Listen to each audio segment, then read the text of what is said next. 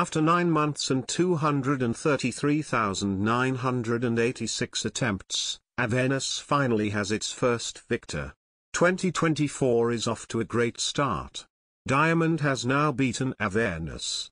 Clap it up to him, this is an amazing feat, as he is now the first victor of the top 1 demon in Geometry Dash, and most likely will be the only victor for a while, if not the only victor ever.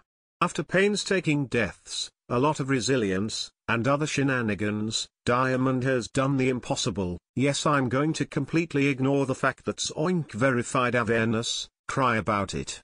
Anyway, I don't see anyone else attempting this anytime soon, given how bad its gameplay is, and it being so difficult, so no one's going to care for doing it. I don't know if Tidal Wave will get rated in the future, but if it does, it's a good thing Diamond beat this before Tidal Wave was rated and placed on the list, it does make the achievement much more legendary than it already is, being the first victor of the top 1 instead of the top 2 demon.